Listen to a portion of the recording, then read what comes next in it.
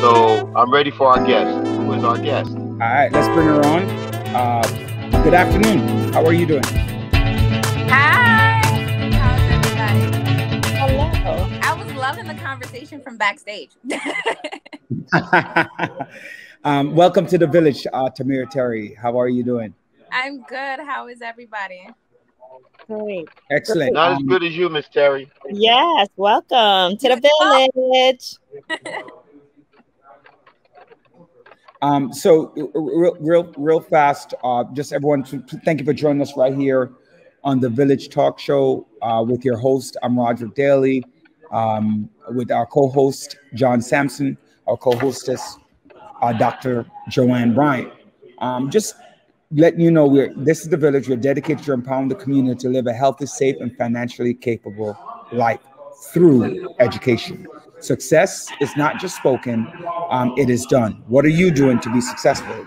And you can catch us on all gamut of social media on Instagram, on Twitter, on uh, Facebook, on, the, on, on um, YouTube. And today we have our, our guest today is Tamia Terry. I'm proud to say uh, uh, that she's a fellow uh, my 11 graduate. All Um, right, big up, big up, big up. Right. Joanne doesn't know what it's like to graduate from my 11. Um, to me, so we get right. So live through us. right, but but she's she's she's beginning to feel the love, like feel the love. Like my, my 11 actually graduates a lot of good people, right, and and so forth. And Tamia, um, also proud to say she was one of my former students, and um, you know she's part of the conversation around financial literacy and what is it that we need to do. And what, what I love is uh, John and, and and Joanne is that look at her youthfulness and to even at this age start thinking about wealth and wealth management. So with that, with further ado, um, Tamia, go ahead, just introduce the floor, just tell us a little bit what you do and why you here. Okay, awesome. Well, first, I want to thank you all for to just have a few minutes on your show just to educate, right? Like spread some information to everybody and my energy and the Maya Love and Love. a little bit about me. I actually am a financial representative and I work with World Financial Group. Not too sure if you guys ever heard of it before, but I've been on this journey growing my business there for almost two years. And prior to that, I was in school for social work. I got my degree in social work. I started to pursue my master's degree. And I knew that I was put on this earth to do something big. it wasn't just to be a social worker, but it was to impact multiple lives on a massive scale. Not just people in Brooklyn, not just people in New York, but to do something really massive across the entire country and I was eventually introduced to the opportunity where I was able to kind of take my social work skills and apply it to helping families financially and giving them a little bit more peace of mind at the end of the day, giving them education that they never thought they could have learned in their lives, and really just elevating our community, especially Black and Brown people, elevating us all so that we can change the trajectory that we've been living for so many years, right? We want to create generational wealth and end the cycles of generational poverty. So that's a little bit about me in a quick snapshot and what I do briefly. So, Miss Terry, let's let let let let let's get down to it. Yes, You let's know. You're like let's now get down to time. you know generational wealth. How can we create it? How can we create it by educating our people? We have to And when you say educating, tell me. I'm coming to you, Miss Terry. Educate me. tell, tell tell me what I need to do so I can have as much money as Roderick has. Tell So- me oh. what I can do. What you need to do is sit down with a financial representative. No, but seriously, um, just really taking a deep look at your finances, right? So many people they understand that finances is important, but they don't know the exact steps to actually make that happen. So to answer your question, if somebody were to come to me and say, hey, "How can I create generational wealth?" Well, we have to go through your entire finances, right? See what it looks like and create some habits. Create healthy habits. Like we have to make sure that your relationship with money is something that's positive and not negative making sure that you have a healthy relationship with money that you're investing you're saving you know you know how to spend you know what to buy what not to buy discipline right? There's so many different things that you can do to make sure that you create generational wealth. And of course, I think number one at the top of the list is one, you have to make really good money and you have to know how to invest it, right? Because if you don't have money to invest, then I mean, you're back at square zero. So, so, so what you're saying is, Ms. Terry, the first thing I have to look at is one, I guess, creating a budget. Your habits. You have to look at your current habits first you see what your relationship is like to money. After I sit down with multiple people just throughout the months, I realized that a lot of people have a damaged relationship with money, and that affects the way that they spend. Do me a favor, uh, Ms. Can you? I, I, I, I'm. You know, people get mad at me for that, but when you say talk about what do you mean by damaged relationship? What do you? I mean, explain to to, to our audience what you're talking about. Damaged relationship and what does that look like? How do you damage a relationship with money? Because it sounds like you're in a, a love hate relationship, like you're talking to your wife or your husband or your partner, right? So what does it mean? I mean, it could be it could be what you're talking about, but you know, what does that mean to damage relationship with money? Yeah, so when I first heard that to the term damage relationship, I was so confused because it's money. How can you have a relationship with money? These are the things that you learn. And I would say, as an example, is somebody who resents money because they never had any when they were younger. Somebody who doesn't want to accumulate wealth. I know earlier you were talking about people being selfish, right? People that kind of just want to make it through tomorrow because they realize that when they did have money, bad things happen, right? Like maybe they bought a lot of things and they got damaged, or their family had money and they were greedy because of it, or in their family there was a lot of fighting because of too much money, lack of money. So a lot of the time, your past experiences that will determine your relationship with money, and as a result of that, then you develop certain habits that make you interact differently with money, and that would be one example. Would you say that living paycheck by paycheck also creates a damaged relationship with money? Yes, right? Because you're struggling, right? Living paycheck to paycheck, you're struggling. You don't get to see the benefits of having that extra couple hundred dollars at the end of your paycheck period. So when it comes time to get paid again and you have zero dollars in your bank account, you're upset. you're frustrated. You don't understand why your money can't last, right? You never had the experience to test out extra money to see what beauties it can bring in your life. And that would cause you to depend on the credit cards. Exactly. And then now we're going into debt, which is where America wants us to be. but there's nothing wrong with debt. It depends. If you can pay it off. It depends on what, what, kind of debt we're talking about, right? Because exactly. And I think that's what people need to understand what kind of debt you were talking about. Go ahead. No, I'm just thinking that majority yes for certain people that understand finances and just understand a little bit more about money it may not be a bad thing right? Because you can have so many de- benefits from having a little bit of debt and just paying it off right? Just using your credit. But look at where most of americans are. They're not in that position to be able to think like that. So the average person that you see debt is not a good thing for them because there's ways in which you can use that debt you know and and, and basically it's always good to be liquid. And uh, take for example, some people may want a debt of a mortgage. Mm-hmm. You know, and there's certain benefits that you can get from going in, into debt buying a house. Mm-hmm. There's certain tax breaks you can and have an opportunity to build the equity up in a home. You know, uh, uh, uh so so debt. I know what you mean overall, but then you got that credit card debt, but you got other debt that can be resourceful. It's all about education, right? Because not many people know anything about that. You say debt, people think credit cards. right. So we just have to do our part just to make sure that we're educating people full circle so that they understand absolutely everything. And I think you hit it right on the head so they can understand full circle uh, uh, uh, about that issue. And I think a lot of people, irrespective of your and and I guess the main source of income for a lot of people are their salaries. And a lot of them fail to take advantage of any sort of, of, of profit sharing that the company may have, uh, putting deferred comp. So you're right, uh, Ms. Terry. Comes back to literacy. And a lot of people they just want to live for today. They don't they don't they don't look into the future and understand when I retire, you know, that I want to be able to retire at an age where I can enjoy my life, not work until I'm 75 years old. You hit it. So it comes down to yeah, I'm sorry, Miss Terry. No, no, no. I was just gonna tell Joanne to go ahead. no, no, he said he hit it right on the um nose when you say that they live in the future. They don't think about the future too much.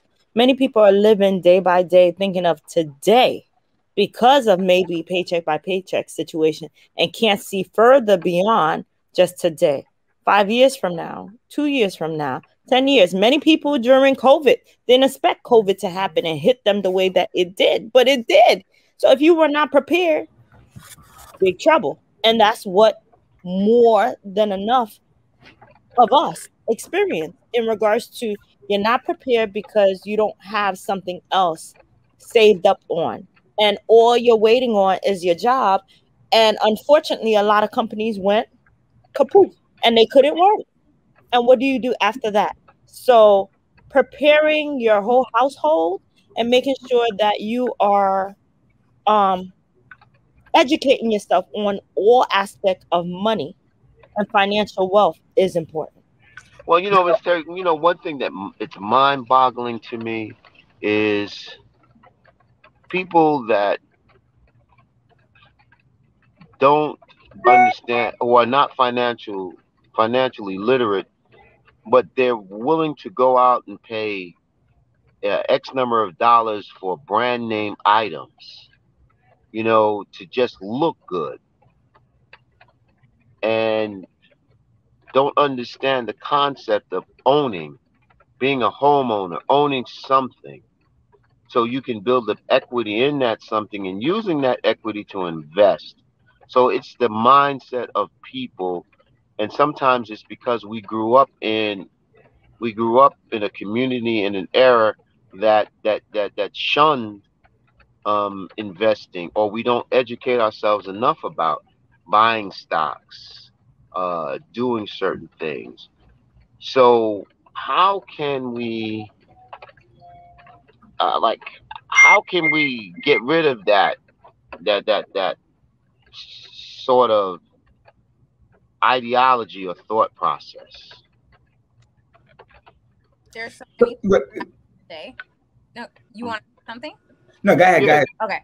I first I wanted to respond to Joanne and then I'm gonna move to you, John. But there you guys made so many great points in the last couple of minutes. But um to your point, Joanne, when you were talking about people that just live day to day, I was just having a conversation with somebody maybe about two days ago talking about exactly this um, prior to learning about financial education, you know, I was a manager at Levi's. I was in school and I was kind of just thinking about tomorrow, right? Like phone bills due next month. I have to eat this week. I have to eat next week. And because of that, I wasn't thinking about the future.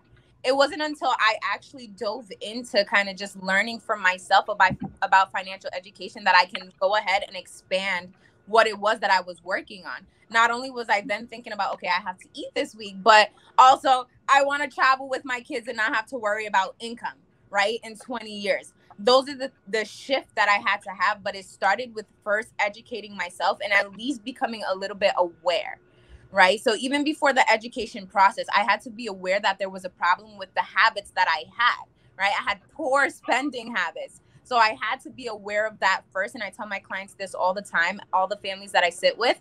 The fact that you are aware is step number one. If we sit down together and you don't see a problem, then I'm not too sure that I can help you with anything because I can't really open your eyes to something that you're not willing to see. If I show you the numbers mm-hmm. and you think that it's okay, then sure, right? At least I did my job in being able to open that up for you and give you the opportunity to see it. So I just wanted to respond that to you. And I also know you mentioned COVID, and it's one of the statistics that I had written down to share with you guys. But during COVID, the pandemic, the average family had $400 in their savings account. Mm. That's I was, not. I was one of those. Listen, it, it's a thing, right? It's actual reality for people. And I don't know about you guys, but living through a pandemic with four hundred dollars that that has to be tough, right? Just a little bit, scary, right? Scary, scary. Exactly, that's really scary. So there's a huge problem here that, of course, we want to be able to fix. So I wanted to say that in response to you, Joanne, and then in response to you, John. I know you asked how do we go about almost changing our principles, right? The things that we value. I love this question because I was that person and I transitioned. Trust me, I was getting the new sneakers, I was getting the new handbags, I was getting my nails done every two weeks. Like I was spending money on mm-hmm. things that didn't matter. But you know what? I had to surround myself with people that were great examples of being able to have wealth, right? I had the newest sneakers and zero dollars in my bank account, but I had to be surrounded by a group of people that bought the cheaper shoes and then invested their money, right? I had to be surrounded by that because where did I learn to buy the newest sneakers? The people that I was around, the environment that I was in, my community, my friends. So it has a lot to do with changing the people that you're surrounded by. And I went through that transition period as well. And this is this was way more than just transitioning into financial education. This was a growth period for me in my life as a person right? Like I had to transition almost from like a kid to an adult. and one of those things were changing the people that I surrounded myself with. And as I surrounded myself with people who were making upwards of a hundred thousand dollars, right? And people that actually invested their money, I started to latch on. Oh, okay, you don't need those expensive sneakers. I guess I don't need them either. We're gonna go get a t-shirt from Target instead of like some other expensive store. Okay, that's cool right? We spend our money on experiences and we invest the rest. Interesting. Um, I'm, I'm I'm having this conversation a lot with with people, right? The the idea of materialism and what what that looks like, right? Um, I I I often say to my son, I make following statement. My my oldest, actually all of my kids, I said to them, "It's better to be the best of the worst." No, sorry, the worst of the best than the best of the worst. Which basically is what I remind them of, like what you're saying. If I'm going to be the one making a hundred thousand dollars in my group, and everybody else make twenty thousand dollars, I am not. There's no growth. Mm-hmm. So it seems to me like you're you're you're you're now making the same conversation, right? That and I have friends that said you don't need a Gucci all of not that you cannot treat yourself, but all of your stuff should not. Your money has to work for you. Right. Your money has to work for you. So it's okay to once in a while treat yourself. But if you're doing it all the time, then it becomes your habit and your lifestyle. And therefore, can and like you say, why am I buying a $250 pair of sneakers when I could buy a pair of sneakers for $100 and invest in 150 that is a growth? Because you know what? If you buy a $150 pair of sneakers today, you see the t-shirt, now you're gonna want the belt to go with the sneakers. You don't want the pants to go with the, the, the belt. You don't want the shirt or the blouse to go with the, the, the pants because they gotta match, right? And you keep moving on, right, from there until you're stuck with no money. Right? I love that you said that. And as you were talking, I was kind of thinking about, okay, well, this goes back to the roots of what makes you happy. Right. And again, growth process from a kid to an adult, not necessarily just financial growth, but growth as a person, you have to really think about what makes you happy. I don't think it was the sneakers that made me happy. I think it was the fact that other people were able to see them on my feet and knew that I had them that made me happy. So again, if you're changing your associations, right? Nobody in my office cares about what sneakers I have on, right? Like I could wear $10 shoes and they'll say I look beautiful. You know? So really think about what makes you happy as well because treating yourself can be as small as I don't know, buying yourself a bottle of wine as opposed to going out and spending $300 on a day out, right? So just really questioning is am I doing this for me or am I doing this for other people to see what it is that I have? Great point that you bring out. Um, I love the fact that you mentioned who you surround yourself with will actually influence your decision, which is 100% right when you notice that many of the millionaires or billionaires, they're not spending $250 on sneakers or, are wearing the latest t-shirt just because it says whatever. Um, th- that is so true. And um, that's why it's important to have different levels of friends, you know. So those that will stretch you to where you need to be, those who are on your level, and those who you're pulling up in the process. So that's important that you surround yourself with because you're teaching as you know those friends that are not on your level yet, you're teaching them on what to do. Those who are on your level, you guys are competing, but it's healthy competition on, okay, let's strive higher. And then the ones that's on top of you, that's higher where you're striving to be, that's, you know, you're getting um, knowledge from them on what to do.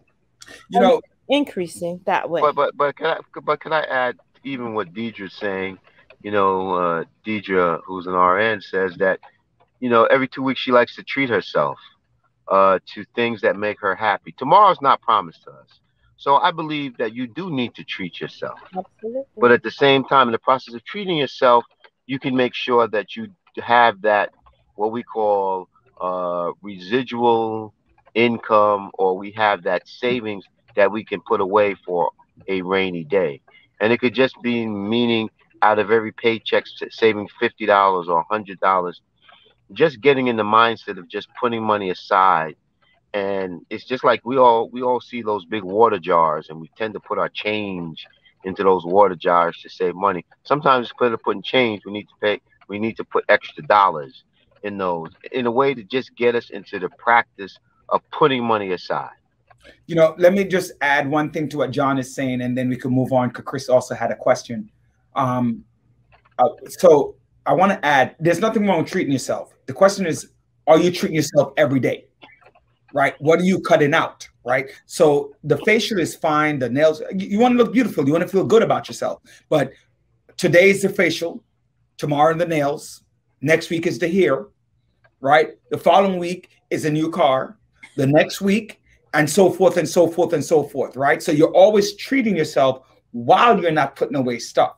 So let's be careful the difference between um, treating yourself and abusing yourself. Lastly, um, tomorrow's not promised to anyone. That's the, that's a fact. The problem is, what if tomorrow comes and you're not prepared? That's where the problem arises, right? Because you have to look at yourself and say, well, my average life expectancy rate as a black man is this, as a white man is this, as a you know, or whatever ethnic female, male race that you are. That's my average life expectancy. Sudden death can happen. But you know, and, and, and Roger, I, oh, let me just. Thought, right? Okay. And that one thought is, I tell people all the time, you only know that you're alive when you're dead, you have no idea. And no one has come back and told me what death is like. So therefore, I have to prepare for the living while knowing that at, at any moment I can die. Yeah, John, go ahead.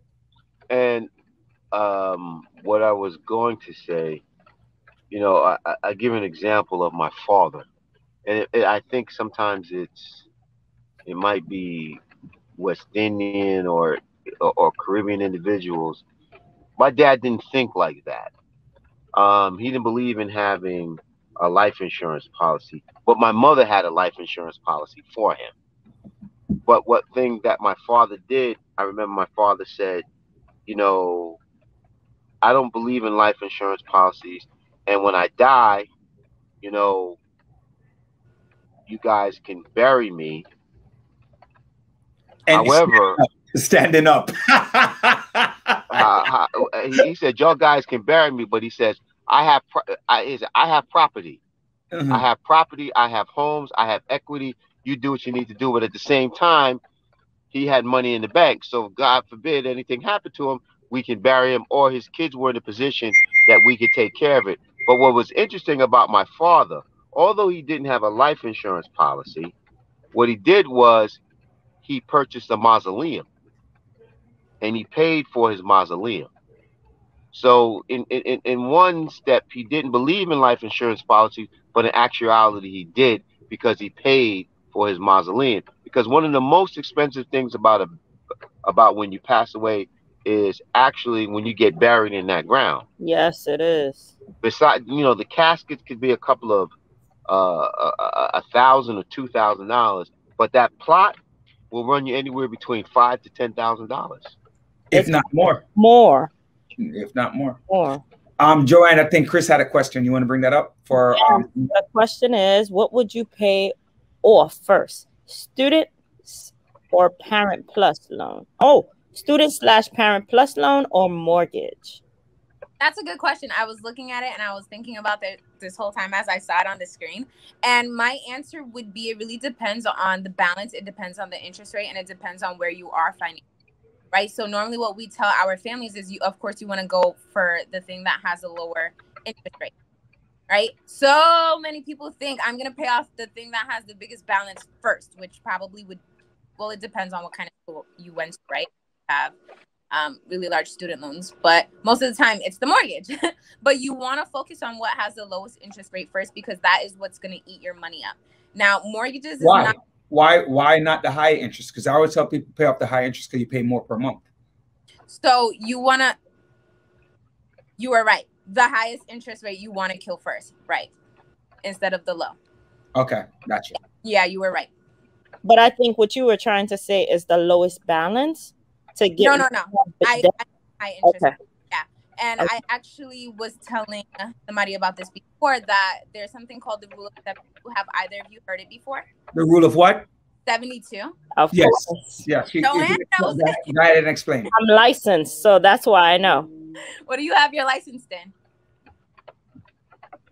Life. Marijuana. Not at all. So, so explain to audience, to me, explain to audience what's the rule of 72. The rule of 72 is the compounding effect of interest. It was created by none other than Einstein. but it tells you the compounding effect of interest. So what it is, and I'm going to slow it down just so that if there's anybody out there taking notes or just really want to know what it is. Um, but it, if you take the number 72 and you divide it by the interest rate that you have on an account, what it will give you is how many years it'll take for your money to double. Right? So the same way we can use it to see how our money doubles, we can also use it reverse, right? We can use it with debt. So let's say for example, you have uh let's say your student loan has an interest rate of like 20%. That's really high. But let's just see. And let me pull up my calculator. So what you would do is you would take the number 72 and you divide it by 20 and you get 3.6. So every 3.6 years, your balance on that student loan is doubling. So you ever realize how interest rates on like investment accounts are really low, but on our credit accounts they're really really high? That's why. Is because the higher it is, right? The quicker it'll double. So it's in favor to have higher interest rates on things like our debt as opposed to our investments. Excellent. So basically you're saying to someone, um, pay off pay off the high interest rate because it's going to cost you more money in the long run, no matter how much it is. Yes. Get it on first and then move on to the next. And then you can actually double up or whatever, use the money that you but I always tell people when I give them financial advice, if they ask the question is, whatever money that you're using on this card, once the card is paid up, put all of that money on the next card and don't think that you have free money, but utilize that money to get rid of the rest of the, your debt.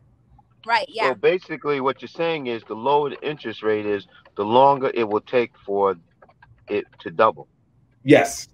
But the higher interest rate that you have, it will it, it will take a shorter period of time for it to double.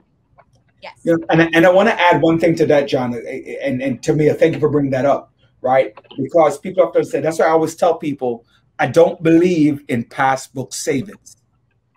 Because like you just do, let's say you go to a bank. Now let's use that same rule of 72 and you can pull out your calculator for that. The average bank gives you like 0.4% interest rate. So what's 72 divided um divided by 0.4 if you have your calculator in front of you? So let people understand why it's not good to put money in savings account as your primary source of source of investment. 1,800.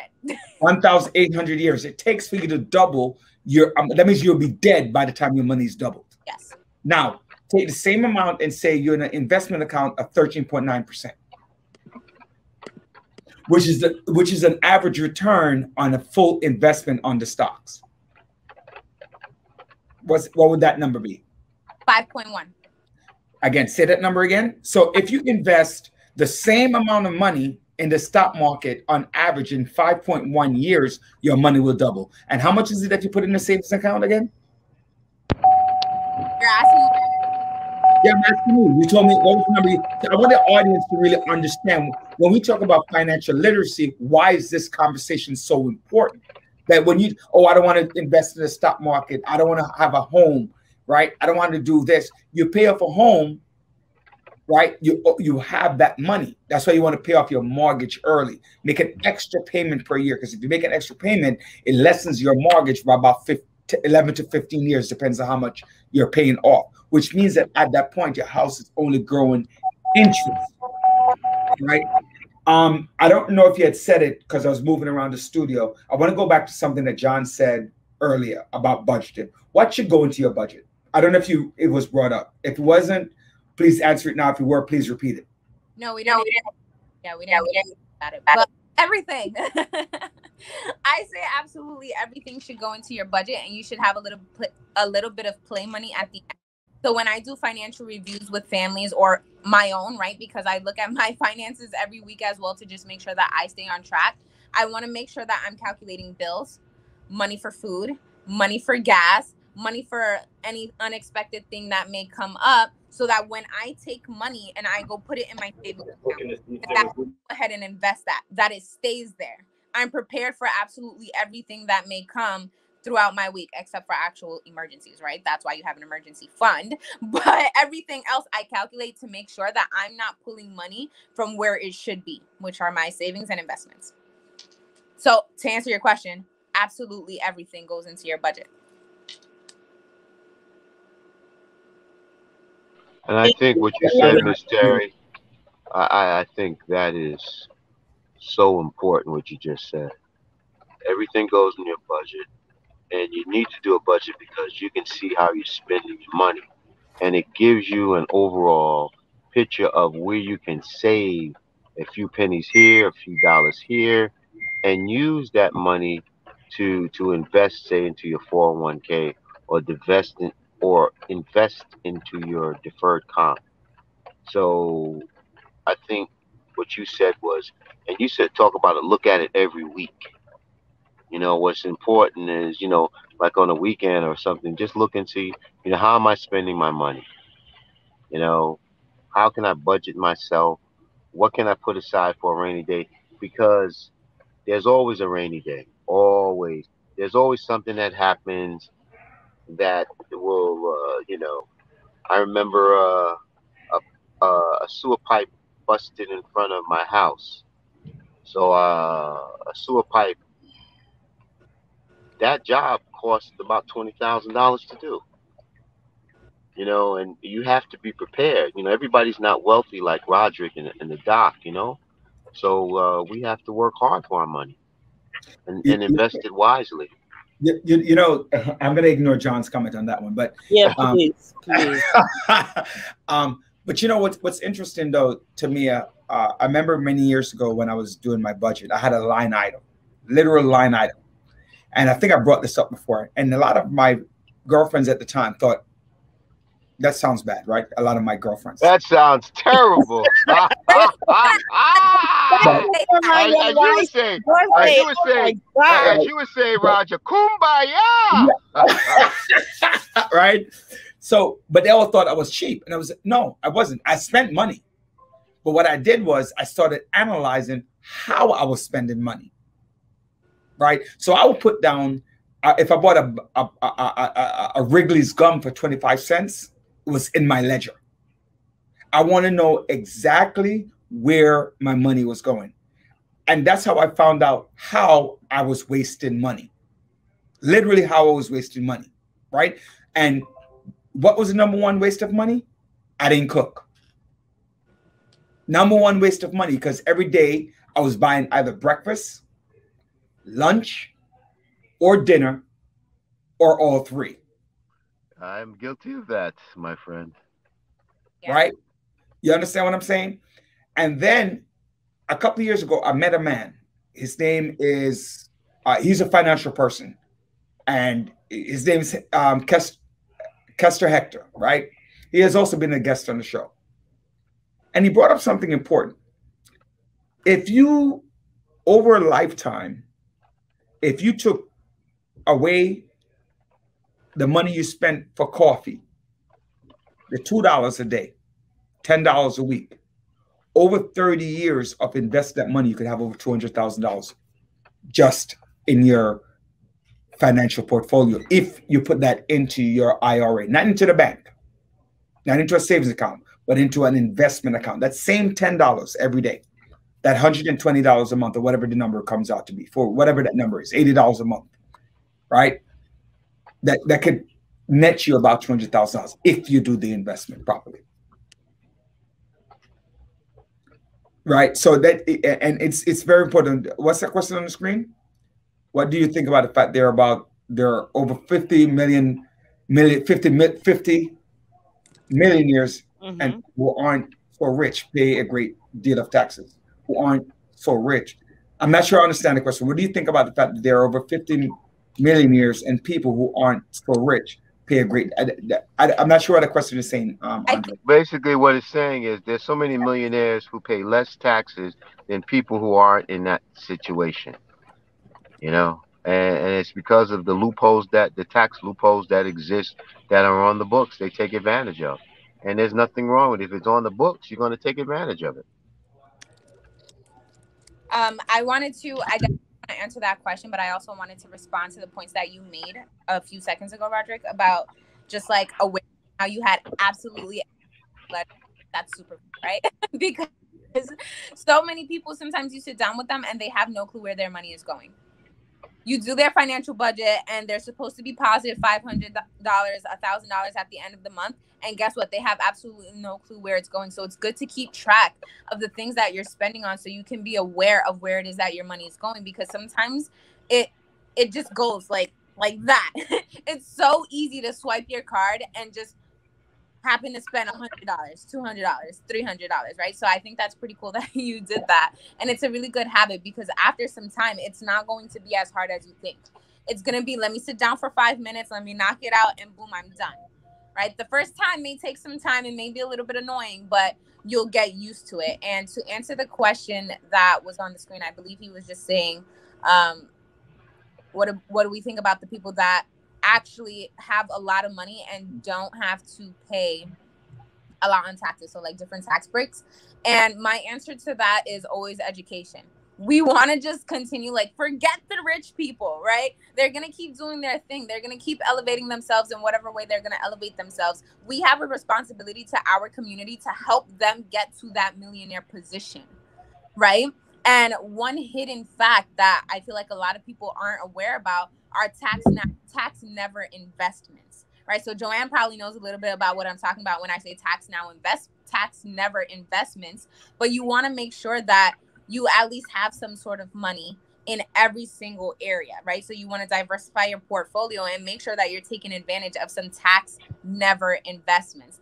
That's how we can begin to equalize our opportunities the same way that the wealthy do it. We can stop like being so sad about what it is that they have, what they don't have, or well, what they have, right? Because they have everything, right? And we just have to level the playing field. Make sure that we're upping our competence, our knowledge, our confidence in our financial situation and utilizing the tools that are out there for us. The only part that sucks is that it's not like information that's widespread.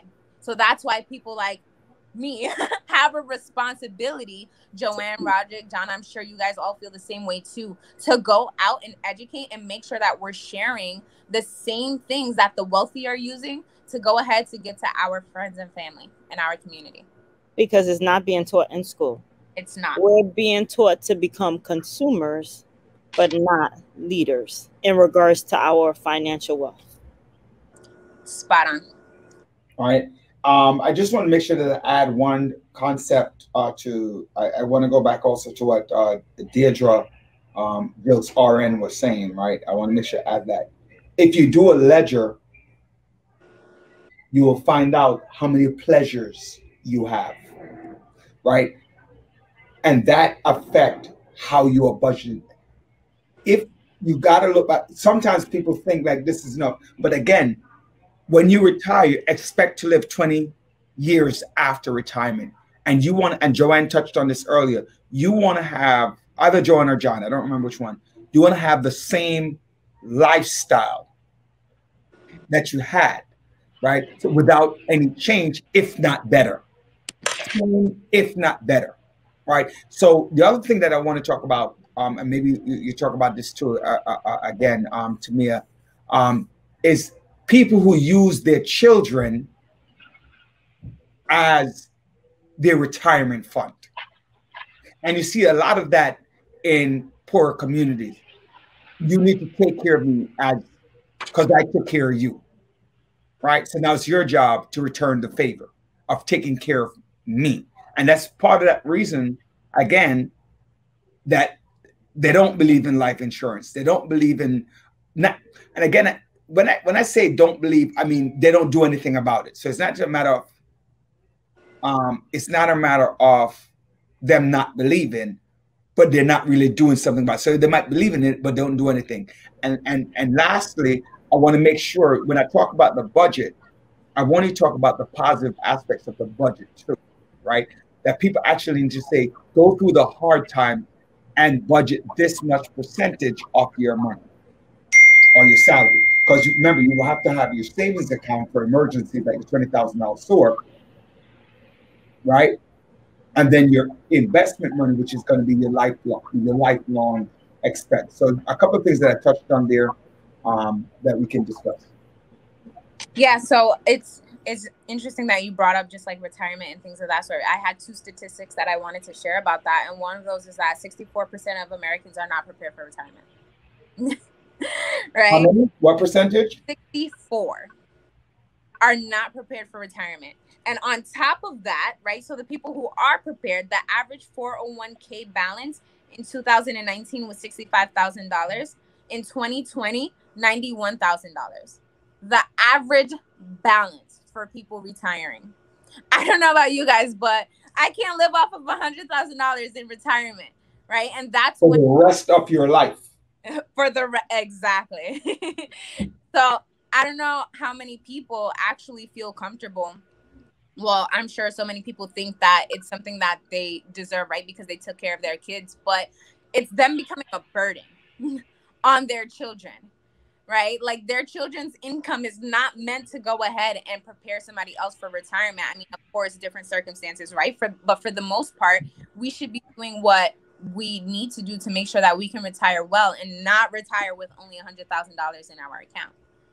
So that was just the two statistics statistics that I wanted to share. But I definitely think it's selfish of some people to not think about their retirement. And it's different if you don't think about it because you don't know. And it's different if you think about it and you use your kids as an excuse or a free pass. Um, excellent. You know, the other thing that people tend to, and why this conversation is so important is people believe that Social Security you can live off Social Security. What what is what is your as a financial advisor? What do you what do you talk about that? Oh, I see she bending over, John. I don't. I, it's like something she wanted to talk about. All right, I'm listening. This ah. Power of Zero. I'm not too sure if any of you have like ever heard of it, ever read it by David McKnight, but definitely get it. I'm not too sure if I can find the page so quick but in this book, it talks about just our financial stability as a here we go, as a country, right? And it talks about the four things that the country spends a lot of their money on, right? So Social Security, Medicaid, Medicare, and debt. That is where 92% of the American dollar goes. And then on Social the Security, Medicaid, Social Security, Medicaid, Medicare, and national debt. And then on the following page, I want to see if you guys can see it. But everywhere you see like that red, those are all of the things that the remaining cents have to go towards. Right? So if 92 cents are going to those four things, the remaining 8 cents has to go to things like child nutrition, drug enforcement, pensions, income assistance, everything. all of those things. So if somebody tells me they want to depend on the government for their retirement, then I'm going to whip out this page. I might send them the book for free, but go read it because that's not a safe place to just put all your eggs in one basket. Where we're heading as a country financially is not pretty. and especially with the pandemic and all of the debt that we put ourselves into, it's not free money, right? So we're almost damaging our economy for our future. So when people say, "Oh yeah, I have social security, I have my pension." Oh yeah, how comfortable are you putting all of your money there? How comfortable are you saying that you can live your entire retirement off of the government? You trust the government that much? Yeah. right? So I that's my response is educate on where our economy is as a whole as a country from this book and then make some informed decisions because you want to again diversify your portfolio. You don't want to depend on social security. So i have a question for you. What is your vision and your last thoughts? Yes. So my vision that's pretty big. But my vision is like i said to have a massive impact. Mm-hmm. what i'm really truly focused on is teen advocacy within our country so I want to make sure that that is my main focus, that I'm using the financial industry as a tool to help push me towards where I really want to be.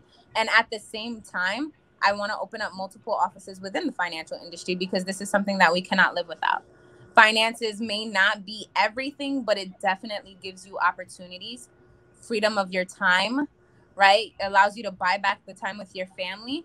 So wrap it all up, my vision specifically, I want two offices of my financial industry life in every single state. I want my nonprofit organizations for teen advocacy to be all across the country.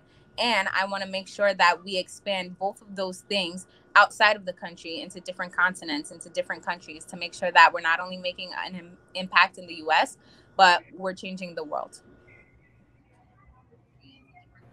Thank you. Um, that's that's my final thought.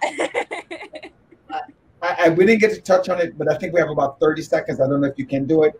Why is it important for people to like own businesses? Passive income. You can rely on yourself, right? At the end of the day, you don't have to trust a boss to sign off on your paycheck. You sign off on your own paycheck. And that's I, you know, I tell people that's what people get when they when you saw like these millionaires who have these major write-offs is because they own their own business. And they can write a lot of things off that you, the average person, the middle class, cannot write off. Right? Um, John, you have any final? I know you stepped off for a minute. Do you have any final questions for her? She has to go. She has another appointment. So, my my my final question is to um, we want you back on this show because I think what you are espousing is so important. Uh, financial literacy and just uh, so we can people can be start preparing for, for for for the future. And you said something that's profound, relying on the government. Ninety-two percent, ninety-two percent is concentrated on four areas, and there's only eight percent left. And you just think about that. That's so profound. So you and can't rely on the government. Yeah, go ahead. You can't rely on the government for anything. So it's all about the best person to rely on is yourself. Absolutely. Again, the rich takes care of them, take care, take care of themselves, and the middle class take care of everybody. Exactly. Right. So I thank Ms. Terry. I thank you very much for the knowledge that you imparted with us today. Of course, thank you so much for having me. And I look forward to tuning in more in the future, chatting it up more with you all, and changing the world together. Where can people reach you? Um, you can, I don't know if they can see like my Facebook profile through here, but definitely Facebook. And if you Google my name, what my, is your Facebook? Uh-huh. It's just Tamia Terry. Okay. And if you Google my name and revolutionfinancialmanagement.com, my website will show up. I have my email there, my phone number is on there. Um, just Google revolutionfinancialmanagement.com, Tamia Terry. Awesome. Thank you for joining us on the Thank you so much. All right.